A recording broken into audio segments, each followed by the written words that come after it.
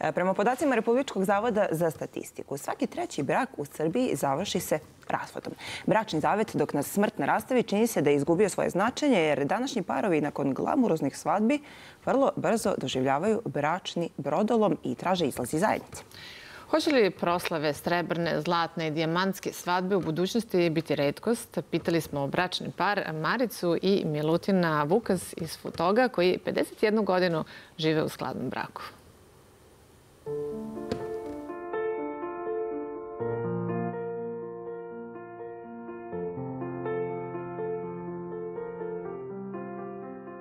Pola veka prošlo je kao tren. Pričaju nam Marica i Milutin Vukas, koji su poznanstva započeli kao dobri prijatelji, ali je, kako se prisjećaju, njihov odnos vremenom prerastao u neraskidivu ljubav. Mi se sreli na korzu, bilo veliko korzo u togu, sreli smo se na korzu, ja kažem, pa, on mi onako se poljubili drugarski, kaže, imaš devojku, ako nemam, kaže, nemam nija momka. I, jo, I meni je odmah nešto sinulo u glavu, znaš da to, to nešto nije loše. I mi malo prošetali korzom i ja njoj kaže, ajmo malo po strani tamo i došli. I ovaj, i dobio sam neku tremu, počeo sam da drhtim, znaš šta, kako da je priđe, kako da je kažem, da, da, da mi se sviđa da, da bi mogli početi zajednički život. I onda sam i došli, tu smo se poljubili, meni je krv na nos krenula od uzbuđenja, to moram javno da kažem, to mi je ostala jedna divna slika.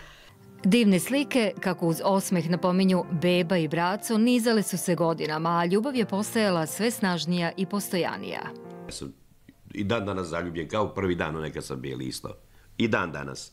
Ja sam prirodno dosta emotivan i onda rak. Horoskop rak. Da. Inače, ona, ona, ona je, ona je e, ikona za mene. Iskreno kažem. Sto žena može proći, može da, da, da što kaže ono, ali ne. Ona je pravo mesto.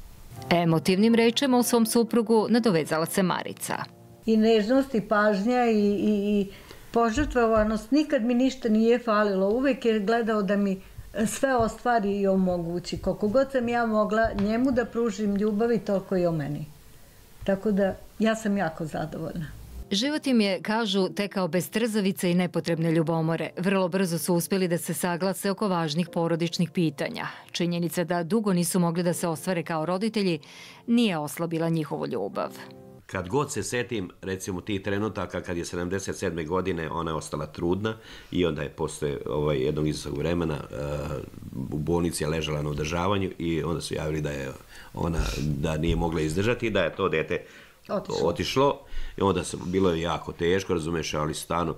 Znači, bio sam uz nju do zadnjeg momenta. Što kaže, ono, ono je podrška, do, do, do, do bola podrška, znaš šta. Zajedno smo preživljavali te muke i te, razumeš, trenutke. I eto, Bog je nas video posle tih turbulencija silnih koje smo imali, 91. godine nam se rodi naša brana, Bog je poslao nama.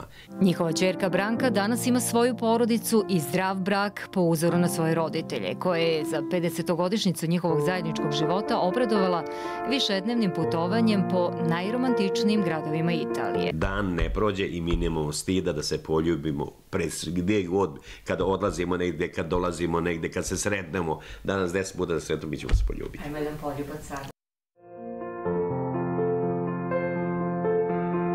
Ovakvih životnih priča u Vojvodini, ali i u celoj zemlji je nažalost sve manje. Naši sagovornici su se kritički osvrnuli na činjenicu da je poslednjih godina zavladala prava inflacija razvoda i što je bračni zavet, dok na smrt ne rastavi, sudeći po broju razvoda, izgubio na značaju. Ja ću sad kazati možda da ne povredim nikoga, to su ljudi sebični. Oni su sebičijanci, oni misle samo na sebe, a ne misle na, na, na, na, na decu, na, decu, na prijatelje, na sve one, recimo svadbe su danas, ni jedna svadba nije ispod 500, 400, 500 ljudi, razumete? I to je veliki trošak za sve. I sad bude to i onda posle mjesec, dva dana se eh, rastali se. Šta se rastali? A išli zajedno osam godina. Svima njima bračni par Vukas, koji se i dan danas čvrsto drži za ruke, poručuje. Savjetujem sve ove mlade koji se sad, prvo tolerancija, i, i razumevanje. I da neka budu malo ljubomorni, a ne smiju biti preterano ljubomorni. Što kaže ono, budite ljubomorni na vas, a nemojte na, na, na brak i šta ja znam, ono, znate. Ali znači, bitno je tolerancija, bitno je, bitno je da ovaj razumevanje, to je najbitnije.